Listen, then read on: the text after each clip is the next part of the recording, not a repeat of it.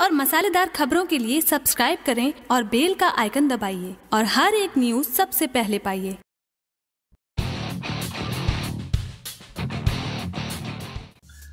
भोजपुरी फ़िल्मों के सुपरस्टार खेसारी लाल यादव की अपकमिंग भोजपुरी फ़िल्म डमरू का फ़र्स्ट लुक सोशल मीडिया पर जारी कर दिया गया है। इस पोस्टर को जारी होते ही सोशल मीडिया पर भोजपुरी दर्शक भारी मात्रा में शेयर करते हुए नज़र आ रहे हैं। फ़िल्म के पोस्टर में खेसारी लाल यादव का रुद्र अवतार पोस्टर में साफ़ साफ़ दिखाई दे रहा है। तो वहीं पोस्टर में एक बड़ी सी त्रिशूल भी खेसारी लाल यादव पर काफ़ी बेहतरीन तरह से डिज़ाइन किया गया है। साथ ही साथ फ़िल्म में विलन के अवतार में अवधेश मिश्रा का साधु अवतार साफ़ साफ़ पोस्टर में दिखाई दे रहा है जो दर्शकों को बेहद ज़्यादा पसंद आ रहा है। आपको बता दें कि इस पोस्टर में अभी किसी भी एक्ट्रेस को जगह नहीं दी गई है। डमरू के पोस्टर में खेसारी लाल यादव का जिस तरीके से अवतार दिखाया गया है उम्मीद जताई जा रही है कि फ़िल्म में खेसारी लाल यादव का अवतार बाकी फ़िल्मों से अलग होने वाला है। फ़िल्म की एक्शन सीन की बात करें तो फ़िल्म में खेसारी लाल यादव जोरदार एक्शन करते हुए नज़र आएँगे। Baba motion pictures private limited के, बैनर तले फ़िल्म डमरू का प्रस्तुत किया गया है। इस फ़िल्म के लेखक, संगीत और निर्देशक